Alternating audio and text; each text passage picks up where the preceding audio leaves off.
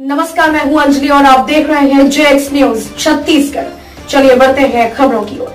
सात लीटर कच्चे मुँह शराब बिक्री करने रखा आरोपी गिरफ़्तार। श्रीमान पुलिस अधीक्षक महोदय अभिषेक पल्लव एवं श्रीमान अतिरिक्त पुलिस अधीक्षक महोदय अनिल सोनी के निर्देश पर श्रीमान अनुविभागीय अधिकारी शक्ति श्री तस्लीम आरिफ के कुशल मार्ग निर्देशन में अवैध शराब में पूर्ण प्रतिबंध लगाने के निर्देश पर दिनांक तीन चार दो हज़ार बाईस को मुखबिर से सूचना प्राप्त हुआ कि ग्राम बासिन के अनिल कुमार श्रीवास,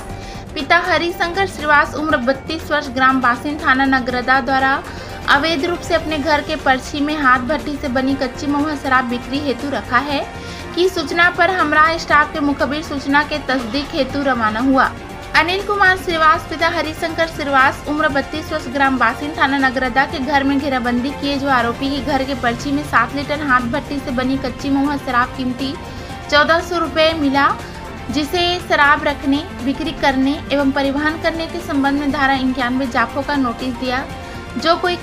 कागजात नहीं होना नोटिस में ही लिखित में दिया। आरोपी अनिल कुमार श्रीवास पिता हरिशंकर श्रीवास, उम्र बत्तीस वर्ष ग्राम बासिन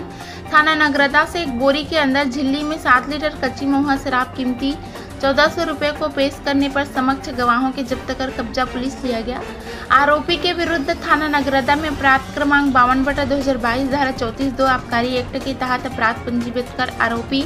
अनिल कुमार श्रीवास, पिता हरिशंकर श्रीवास, उम्र बत्तीस वर्ष, ग्राम ग्राम बासिन थाना नगरदा, जिला जांजगीर चांपा को दिनांक तीन चार दो हज़ार बाईस को गिरफ़्तार कर जुडिशनल रिमांड पर भेजा गया। उक्त कार्यवाही में उप निरीक्षक सी पी कंवर, प्रधान आरक्षक चार सौ चौवालीस छगन साहू महिला प्रधान आरक्षक तीन सौ पचहत्तर चंद्रकला, सोन। आरक्षक छह सौ अस्सी तेज कुमार राठौर, तीन सौ उनचालीस कमल कर्स का सराहनीय योगदान रहा।